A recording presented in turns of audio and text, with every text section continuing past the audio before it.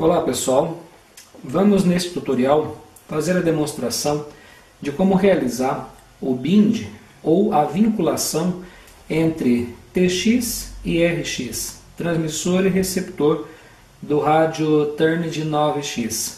Lembrando que esse rádio é um modelo já da versão, da versão nova, a versão 2.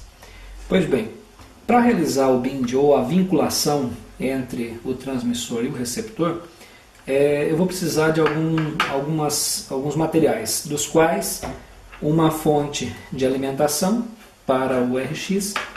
Aqui eu estou utilizando uma bateria de lipo, polímero de lítio. É, para usar a bateria de lipo, eu vou precisar utilizar um redutor de tensão, no caso um UBEC, para fazer a ligação no RX.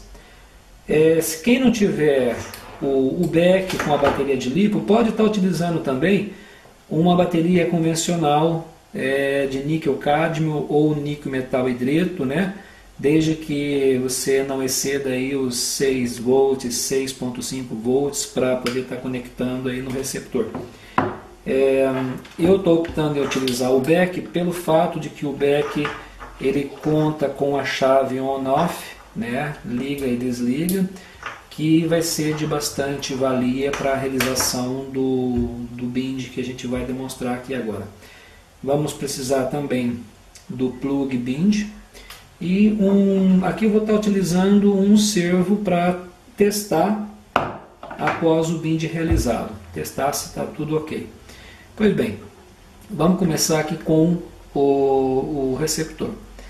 O receptor do Turner de 9X ele vai de canal 1 até canal 8 e nós podemos perceber, vocês podem notar que acima do canal 8 aqui nós temos mais duas entradas aqui, o canal 9 e 10, onde você vai plugar é, bateria e o plug bind, a fonte de alimentação e o plug bind. Em específico, o plug bind, nós vamos conectar no canal 9. Então é só você fazer a conexão do plug bind no canal 9, certo? E em seguida eu vou pegar a fonte de alimentação, no caso aqui estou utilizando é, o BEC com uma extensão padrão Futaba, onde eu tenho o negativo como fio preto e o positivo, né, o fio vermelho. Isso é uma, uma convenção. Negativo, fio preto e o vermelho é o positivo. É, como que eu vou fazer a ligação da, da fonte de energia no transmissor? No receptor, aliás. É, lembrando o seguinte, ó, essa aqui é a vista frontal do receptor. Então, se essa é a vista frontal, eu vou tomar referência à vista frontal dele. O negativo, que é o fio preto, eu vou é, inseri-lo é, de forma que ele fique virado para baixo. Se esta é a vista frontal, então o negativo vai ficar virado para baixo, nessa posição. Então, o positivo acima, o negativo para baixo. Aí eu vou fazer a conexão da bateria de lipo e vamos ligar a chave do back para fornecer energia para o receptor. Notem que no receptor, no RX, nós temos um LED que fica oscilando, que ele fica piscando aguardando, nesse caso, o sinal do rádio para é, realizar esta vinculação, ou o que a gente chama né, particularmente de bind em inglês, quer dizer vinculação. Para fazer a vinculação, depois do RX ligado, é muito simples. Basta você pegar o transmissor, você vê, vai ver aqui na parte traseira do, do transmissor existe o, o módulo, que já vem acoplado aqui no rádio, e no módulo existe um botãozinho. Esse botão, ele é o botão tanto para você realizar o bind, quanto para você realizar o teste de alcance do rádio depois que o rádio já estiver funcionando o sistema TX e RX. Mas aqui em específico nós vamos realizar, utilizar o botão para realizar a vinculação, para realizar o bind. Então nós fazemos o seguinte: aperta esse botãozinho, mantém ele pressionado e aí eu vou ligar o rádio, mantendo o botão aqui atrás pressionado, não solta.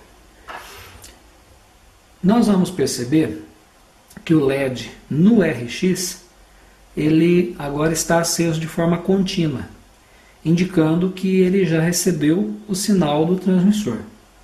Acredito que dá para vocês perceberem né, que o LED está agora aceso de forma contínua. Feito isso, nós vamos desligar a alimentação do RX e posso soltar o plug bem de atrás e vou desligar o rádio. Bom, para ver se o bind ocorreu de forma perfeita, eu vou remover o plug bind e agora eu vou ligar um servo. Eu estou usando um servo standard, mas pode ser qualquer servo, pode ser é, um motor, enfim, qualquer é, dispositivo que você esteja utilizando no seu aero para fazer o teste no rádio. Eu vou conectar no canal 1 esse servo, que é o canal de, de Aileron, né? Convencional, convencionalmente é o Aileron no canal 1 para o rádio na modalidade modo 2. Lembrando que esse servo, uma curiosidade que eu quero mostrar para vocês, é que esse servo ele tem a extensão padrão é, JR, diferente da, da, da, da, extensão padrão Futaba. Na padrão Futaba, nós temos ah, um negativo representado pela cor preta, pelo, pelo, pelo negro, né? e aqui o positivo vermelho. Já na extensão JR, o negativo ele está sendo representado pelo marrom, e o vermelho é o positivo. E o amarelinho aqui em cima seria o sinal, que é o sinal para fazer funcionar o dispositivo. Então, como na extensão JR o marrom é o negativo, então ele vai ficar virado para baixo também. Então aqui eu tenho a frente do, do RX, então vou respeitar o negativo para baixo, fazer a conexão aqui no canal 1 e vamos testar se está funcionando tudo ok. Bom, a fonte de alimentação já está conectada no RX. Agora eu vou ligar o TX primeiro, em seguida eu faço a ligação do RX. E para ver se o bind ocorreu de forma satisfatória, basta movimentar o stick e vocês podem ver que de fato a vinculação entre TX e RX ocorreu de forma perfeita. E é isso aí. Espero que esse review é, auxilie quem está começando no hobby agora ou quem adquiriu esse modelo de rádio. E até um próximo review.